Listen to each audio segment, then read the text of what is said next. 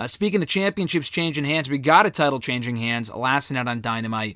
Not exactly a newsworthy title change because the championship means absolutely nothing, but we saw Ricky Starks, Texas native, uh, becoming the new FTW champion by beating Brian Cage with the help of Powerhouse Hobbs at ringside. Now, I thought the match was really good, thoroughly enjoyed the match the tension within Team Taz obviously indicated like they tried to play it off like, oh, what a swerve. Hobbs turned on Cage. Like, didn't we all see this coming, knowing that Cage was on the outs with Team Taz? They were probably turning him face. I'm surprised that hasn't happened yet. It's the fucking slowest burning face turn I've ever seen.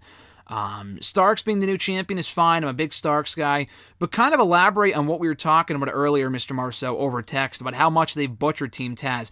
And the infighting with the with the faction is fine, I guess. But like prior to this point, these guys could not win jack shit. Like as far as singles feuds, tag team feuds, these guys haven't. You talk about you know, Lance Archer not winning anything meaningful. These guys never won anything meaningful, and now they're already splitting up. I feel like it's one of the bigger misuses of the million factions they have at the moment in AEW.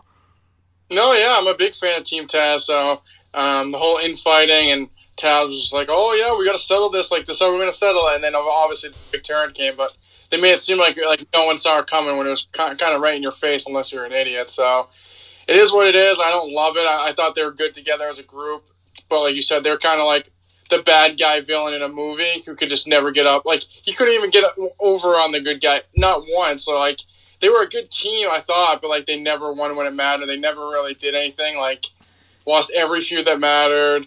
Um, never really got any like heat to even get comeuppance. So like even if they did do something bad, it just wasn't even. You didn't even care that they got their comeuppance because they just lost constantly. They never won a feud, to my knowledge they were just like a good group of guys. They mixed together. I thought Taz was great as a as a commentator. I thought Cage was good. Starks and then Powerhouse and I mean your favorite Hook. Um, I don't know. I, I kind of wish Powerhouse was the one that beat Cage. I don't know. Him and like I guess him protecting Starks is kind of how they're going to do it. But I don't know. I just I would rather. I think Powerhouse Hobbs has probably the most potential, even more than Starks. Maybe. Wow, I, I feel okay. like Hobbs, especially with the WWE, I think could be a big big time player. I think he's great. Hook, I mean, he's fine. I, I know you think he's like a middle schooler because he does look like a middle schooler, but um, I think he's fine for like his role. It's not like he's in there wrestling yet.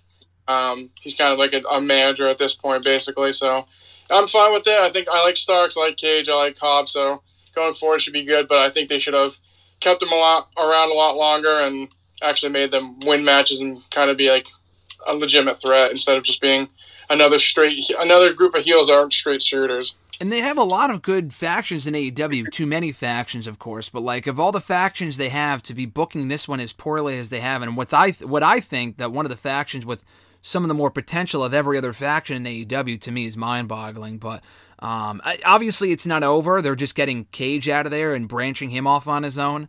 But I think we've discussed this before. When you already have this monster babyface in Lance Archer, who also isn't really doing much at all, uh, you know, at the no at the moment of note at the moment, why would anyone think that Cage would be any different? Like, where do you go from here with Cage? If he gets his win back over Starks or Hobbs, maybe that's the the end game here. Maybe it's a triple threat. Who knows? But like beyond that, though, do you have him face m- maybe Miro for the championship? Does he win? Probably not. Like I just feel like you already have enough of those. Not even enough, but like Lance Archer to me already feels that already fills that role. You could have another monster babyface, but I just feel like a breakout babyface run for Cage right now just might be too soon, at least in my opinion. It's funny that you say that too, because you're like, who could he face? I was literally about to say Miro, because that's the only other person I can think of at this point. And I see him as a mid card guy um, at least in the near future. So it's not like, I mean, Omega's already tied up clearly with Hangman. I mean, there isn't too many other big heels that he could really go after. I mean, maybe like Matt Hardy, but mm, I'm all set with that. I think Miro's kind of the uh, best example at this point, but I don't think he's going to win. So it's like like a Lance Archer situation that he'll go for the title, lose again, and kind of be a big baby face that has no kind of direction.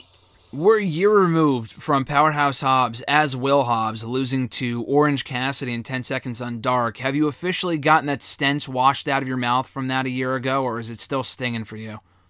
So it's still there. I'll never forget. It's like one of those things like I'll let it go eventually, but I'll never forget. Um, after that match he had with Hangman, it kind of won me over. But like at the back of my head, I'm still like he did job out to Orange Cassidy like nine months ago. So like I, I I'm over it now, but I'll never forget. So like if he ever wins the world title or anything, I, will make sure I tweet out like. Remember when he lost to Orange Cassidy in three seconds? So I'll just always be there. In, so in his debut, no less. Love Hobbs though, big Hobbs guy. I think he has tremendous amount of talent. Um, he's still, I hope, fairly young. I don't know his age, but he has the look. He had a great match with Hangman if if done right, I think he could be a big time player for them. I'm glad to see you coming around to Powerhouse Hobbs because I didn't know how you felt about him originally. We talked about him when he first got signed six, seven, eight months ago. I didn't know if you were a big fan at that point. I don't think you were, but I'm glad he's kind of grown on you. I've, I've been a Hobbs fan since I first saw him. When he first came out for that dark match, and I think they gave him an entrance, I'm like, wow, this guy's a fucking monster. I haven't even seen him wrestle yet, and this guy looks like he could be a star for this company. And then the bell rang, and then Orange Cassidy hit the Superman punch, and it was over in 10 seconds. And I'm like, why the fuck would you do that? Even if you know that you're not going to sign the guy, which they ended up doing anyway months later, it still makes literally no sense. Like, even if they gave Orange some offense and had him fight from underneath and won, I would be more okay with that. I don't know. I get hung up on stupid shit. It's merely nitpicking, but I really don't understand why they did that a decade ago or uh, even a year later. It could be 10 years later. It could be a decade later. I still will never forget that, like you said.